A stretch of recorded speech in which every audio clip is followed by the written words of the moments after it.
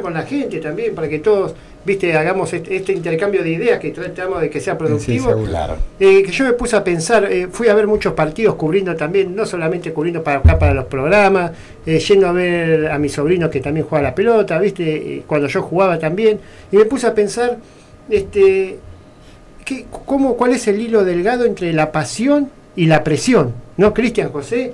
Este, porque todo empieza muy lindo, todo empieza con la pasión del deporte, ¿viste? La pasión de acompañar a un hijo eh, a que realice su deporte favorito, el fútbol es muy pasional.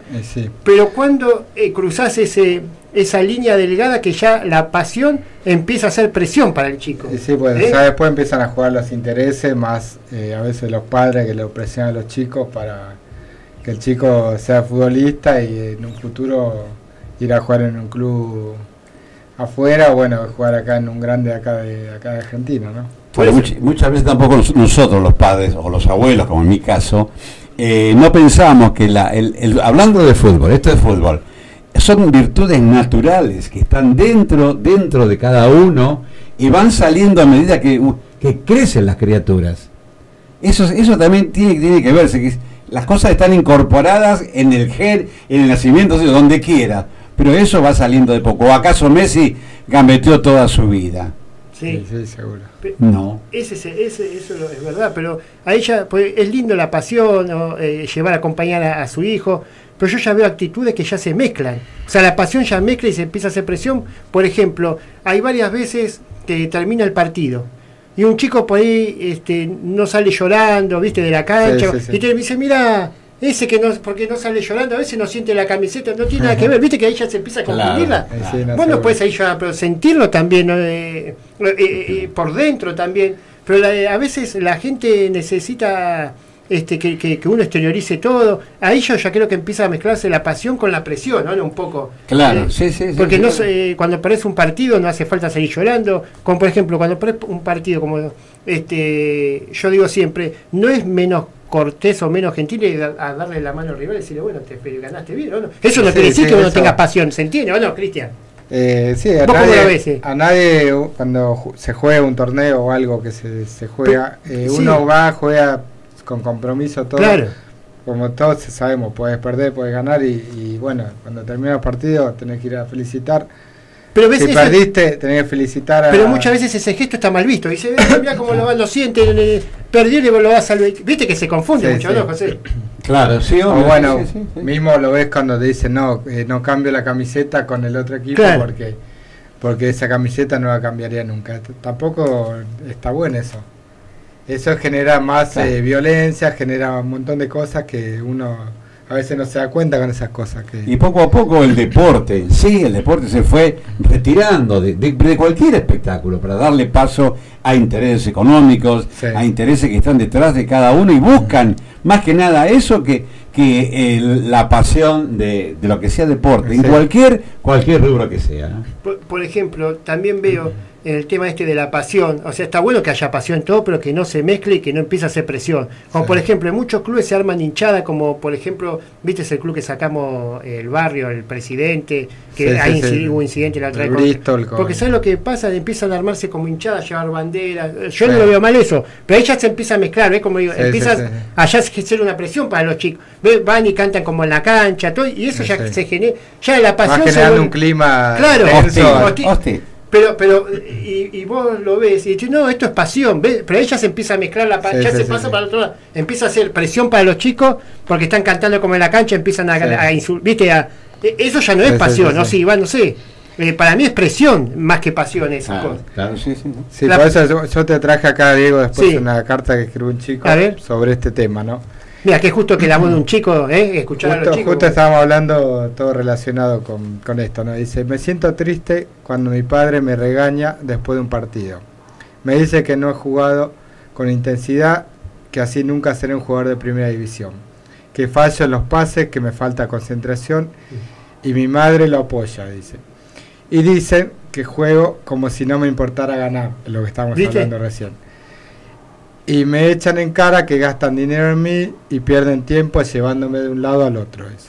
A mí me gusta aprender cosas nuevas, dar pases goles, estar con amigos, pero últimamente ya no disfruto y vengo a jugar nervioso pensando que si no le gustará o si le gustará a mi padre y que después me va a gritar y a veces eh, me pregunto si vale la pena seguir viniendo, dice, cuando no lo disfruto. Pero yo sé que si no vengo también lo voy a decepcionar a ellos, ¿no? Mirá vos la carta que escribió este chico, más, eh, acá se clarifica todo. Esto ya no es pasión, esto es presión, ¿viste? ¿verdad? Bueno, por eso. Por eso es que estábamos hablando sobre este tema que muchas veces los padres eh, eh, exigimos, exigimos, los estresamos a los chicos hasta un punto que bueno se desconcentran y no están perdidos, están en el partido pero están perdidos porque están ya están con miedo, entran a jugar nerviosos por, por las presiones mismas de la familia, ¿no? Claro, las presiones. Sí, los hogares son es muy importante para una criatura que está comenzando a jugar en el deporte de fútbol porque los chicos absorben todo eso, todo el entorno que está alrededor de ellos, eh, les toca. A mí me, yo le contaba a Cristian que también me tocó un caso muy parecido en, mi familia. Yo tenía un, tengo un hijo que se estaba separando de la mujer y eh, había muchas discusiones y el chico, uno, uno de los chicos, porque tiene dos, tres tiene, eh, jugaba al, al, fútbol y me decía a mi nuera, vos sabés, José, dice que este, que fulanito se para en medio de la cancha y, ve pasar la pelota y no tiene fuerza y, no, y está como si fuera un autómata ahí en medio, en medio de la cancha. Hmm. Y yo, sé que juega bien, me dice la mamá, pero no sé qué le pasa. Y yo por dentro era todo, eh, eh, era todo esto. El otro día venía llegando a la casa y un potrerito, qué lindo los potreritos, ¿no? Estaban pateando los chicos del fútbol y estaba este, este, este chico, este nieto mío. ¿Vos sabés qué bien que le pega la pelota? Yo no lo podía creer, digo, pero este, y yo lo veía que ah, le pegaba abajo, la mandaba a los ángulos, juega bien. Pero ¿qué pasaba en esos momentos? Estaba en todo el entorno, en su cabeza, los conflictos del hogar, de la casa. ¿Eh? Y el chico le pega, aunque parezca mentira, pero esto, esto lo, a mí, a mí personalmente me tocó. Mira, traslada después de todas esas cosas, lo traslada a la cancha, claro. Claro, donde, o, a cualquier entorno donde esté la criatura, en el colegio mismo, ¿no es cierto? Mira, lo que dijiste vos, lo que dijo José recién, es la misma historia que me contó un alumno mío, viste, en la capacitación en el instituto. Me preguntó un día, me dijo, mira, digo, lo mismo que dijiste vos, tengo un chico que eh, eh, para mí es autista, me dice. Me dice, pues vino la primera vez, lo trajo la madre y, y se paró en la cancha y no, y no corría pero, o sea, yo lo veo normal, no tenía ningún problema, ¿viste? La madre me dijo que no tenía ningún problema. Y le pasó lo que dijiste vos recién con este chico. Digo, no, no, no tenía. Digo, bueno, pues fíjate si no tiene algún problema, empecé a hablar con él. Bueno, a los, a, siguió entrenando, entrenando.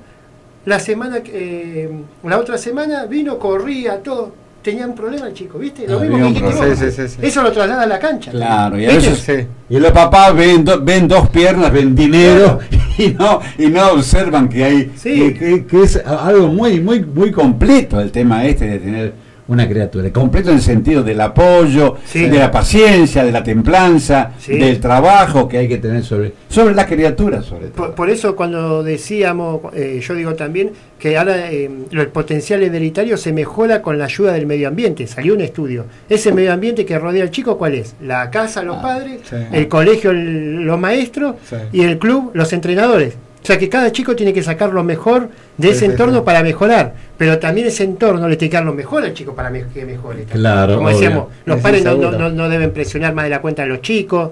¿eh? A veces la, pasión se, exagera mucho. El sí, por eso es que estábamos hablando de este tema, porque muchas veces pasan cosas extra futbolísticas. y los chicos lamentablemente lo trasladan a, como te decía, se estresan, una vez no no sabe, eh, el chico por ahí está pasando malos momentos, eh, empieza a tener actitudes distintas, se hace pisa en la cama, le duele el estómago, empieza con dolor de cabeza y uno no sabe que el chico eh, está atravesando otros problemas que, que lo, manifiesta por ese lado, porque a veces muchas veces no habla, no cuenta lo que le pasa, entonces bueno, yo tenía la forma de, de manifestarse o de encender la alarma es así eh, cambia actitudes, eh, eh, tanto el tipo enojado, nervioso y esas cosas que se ven. Sabés que lo que vos dijiste recién también, a mí me pasó una vez en una escuela de fútbol, que con este tema de la presión. Por eso hay que tratar de, sacarle la presión a los chicos, que jueguen. Estamos en la edad, viste, de que jueguen libre. se, están, se están formando. ¿Sabes que venía a jugar todos los partidos? O sea, partido no, no muy importante jugar. Ahora, teníamos una o un partido exacto, una final, o cuando nos jugamos un partido clave por algo, el chico faltaba, que le dolía la panza, que como decir que no. Y eso era mentira, como decía, el chico eh, que eh, no le gustaba jugar con la presión esa de decir, hoy juego o gano eh, porque venía desde la casa. y yo hablándolo con el padre, dije, qué raro que siempre cuando hay un, partido clave, ¿viste? el chico falta o le pasa algo. Claro. y lo que estaba, el chico no, no, no, no, no podía jugar con la presión esa. ¿Viste? Y esa presión venía desde la casa, desde el padre. Sí, sí, sí, ¿Eh? Que el padre me, decía, me reconoció y dije, sí, cuando hay estos partidos yo ya le vengo hablando toda la semana que le viene, ¿viste? Como eh, haciendo, la cabeza, la cabeza. Claro, que no puedes perder, que no...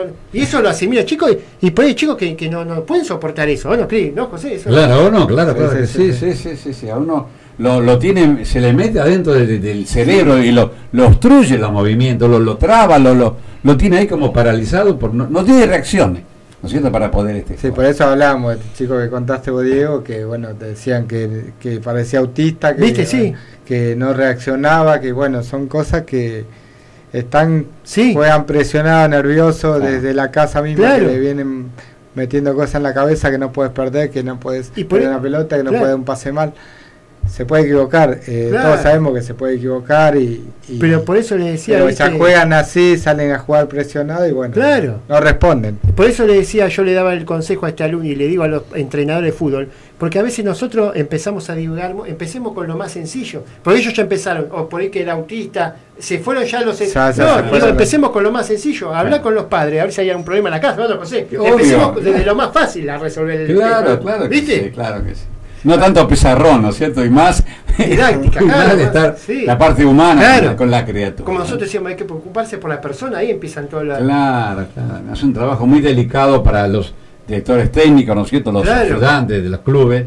Pero bueno, es, ellos mejor que nadie son los que conocen este tema, ¿no es cierto? Y acá nos mandan un saludo Ricardo Sánchez desde Perú. Dice, interesantes temas, saludos Diego y todo el equipo, felicitaciones este, por tu programa desde Perú, Real América Fútbol Club, Club de Menores del Centro de Lima, Barrio Montserrat. Mira vos, ahora por internet se escuchan de todos lados. Claro, claro que sí, maravilloso. Eso es lo bueno de internet.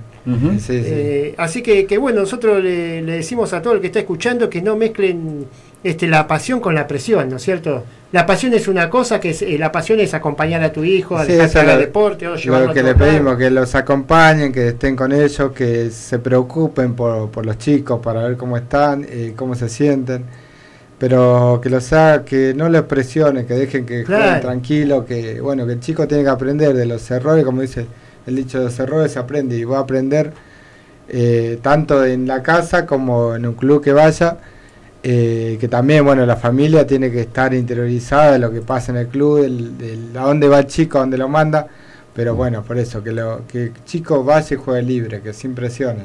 Claro, claro, claro. También lo que les quiero decir a, ambos y a los oyentes, que hay una empresa que también nos les sigue mandando eh, elementos deportivos para que los chicos puedan seguir utilizándolos, ¿eh? Así que Gracias a, Marta que nos está escuchando ah, desde, González Catán. Y bueno, ahí nos está escuchando por internet. Y le mandamos un saludo muy grande y el agradecimiento de, de todos ustedes a esta firma que nos está nos está apoyando. ¿eh? Y, ya me diste el pie justo, José, para primero saludar a Marta y segundo para decirle a toda la gente que bueno, que ya este jueves se salen desde retiro los dos expresos con todo lo que hemos tratado de recaudar. ¿eh? Yo pude conseguir bueno algunas cosas más también, así que ya el jueves, José, salen estos dos expresos rumbo a Córdoba, a la escuelita Los Cisnes, y el otro rumbo a Santa Fe, a la escuelita Barcelona Junior, ¿eh? que nos están escuchando, le mandamos un gran saludo. Así que y le decimos a la gente que se siga sumando, ¿no, José? Oh, obvio que sí, sí yo lo veo muy hermoso a, este tema, ¿no es cierto? De, apoyar, apoyar esto, este tipo de, actitudes o actividades deportivas, ¿no?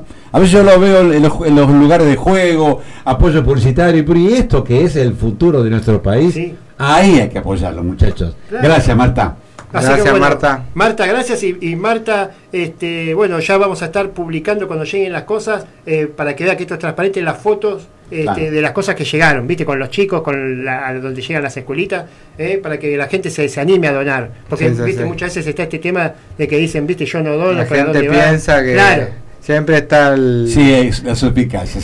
No, pero no, ahora llega todo. Sí, y acá mirá el mensaje que nos manda Rafael Pueblo desde Colombia, el Club Sport Colombia. Grande es aquel que para enseñar y brillar no necesita apagar la luz de los demás. ¿Qué tal? Eh? maravilloso. Eh. Así que bien. Y acá también un mensaje también, viste, bueno, de Johnny Pedraza que dice no se anima a llamar por teléfono, pero acá nos manda un mensaje que está lejos, viste, en La Pampa. Nos manda un mensaje acá por privado por Facebook que dice, el niño es niño, dice. Eh, dentro de su edad evolutiva y cronológica, el joven absorbe y se manifiesta de diferente manera, mediante su conducta. Entrenadores y formadores debemos manejar también la parte humana más en esta zona del interior, dice. Desde La Rosa Santa Fe, muchas gracias Diego, les hace muy bien al fútbol y a la persona lo que ustedes hacen. Cuando necesiten algo, cuenten conmigo. Bueno, un saludo también. Ahí está, que está cerca, que nos vuelva a llamar o que repitan, comuníquense al 4372 1548 o 4371 6260. Por lo menos ese saludo nos va a hacer muy bien. ¿eh? Así que, que bueno, que mucha gente coincide con lo que decimos también. Eh, porque esto también, como decíamos acá, como dice Johnny, también no es parte de los padres, también los entrenadores tenemos que sacar la presión. ¿eh? Es un conjunto, es un conjunto. todo un conjunto de cosas, tanto de, la casa, eh, la enseñanza, y tiene que continuar en el club o, donde vaya a practicar el deporte que quiera, sea fútbol o cualquier otro deporte, pero los valores principalmente se los tiene que enseñar en la casa y eso es fundamental. si me permitís, yo los felicito a, los, a los entrenadores, a los que, están con las criaturas, pues un, un trabajo enorme de paciencia, pero también de amor por ellos. Así que desde acá, desde acá mi gran saludo para todos ellos. ¿eh? Sí, porque muchas veces, eh, eh, como me dicen, el entrenador está con, en algunos clubes y todo presionado con el tema de los resultados. El, tema de los resultados es otro factor de presión. Y sin querer se lo traslada al chico. Pues a mí me decía mucho que me hace, digo, mira, yo si pierdo dos o tres partidos, a mí me rajan. Entonces, yo, eso se traslada, ¿viste? También. Eh, eh, pero es una locura lo que se está tampoco viendo. Eh, ¿Viste? Como yo digo, el, proceso de formación hay que dejar entrenar a los chicos tranquilos no, sin, fíjate, la formación no va relacionada con el resultado. Porque el proceso de formación lleva por lo menos ocho años, pero trabajando este, de manera cronológica. No se tiene que cortar por un resultado. O sea, después del proceso, si se hace bien, el resultado llegan solo. Y lo demuestran muchos equipos de Europa. Bueno, el resultado llega solo, pero hay que dejar trabajar. Hay, hay una frase que los dirigentes se han olvidado, que los chicos es el semillero del. Claro. ¿Eh? y una semilla tiene su tiempo de crecimiento. Tenés, razón, José. Claro que sí. Esa palabra ya no la escucho más. ¿eh? No, no, no. tenés razón, es así. No, no se escucha, no, nadie, no lo dicen. No. y, otra cosa también que había dicho mm, este Johnson Cruz desde Miami, cuando salíamos en vivo para Miami, eh, nos dijo que mucha gente, lo que vos decís también, los clubes no se dan cuenta, dice, a veces en Argentina no se le da importancia al fútbol base, ¿viste? al fútbol de chicos, y no se dan cuenta que los chicos son la caja fuerte del club. es verdad, los clubes están en crisis. ¿Cuál es la caja fuerte? Vos después vendés un chico y te queda toda la plata, ¿viste? Cuando empezás a hacer la cadena, ya no te para más, ¿viste? Pero acá no, no, le dan importancia tampoco al, al trabajo este formativo.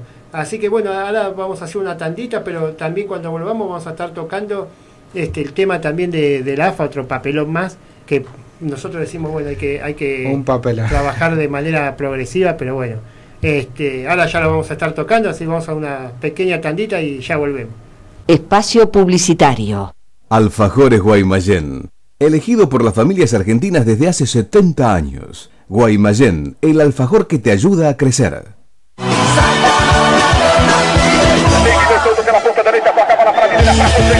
Página web www.creciendoconfutbol.com.ar Twitter arroba Crecí.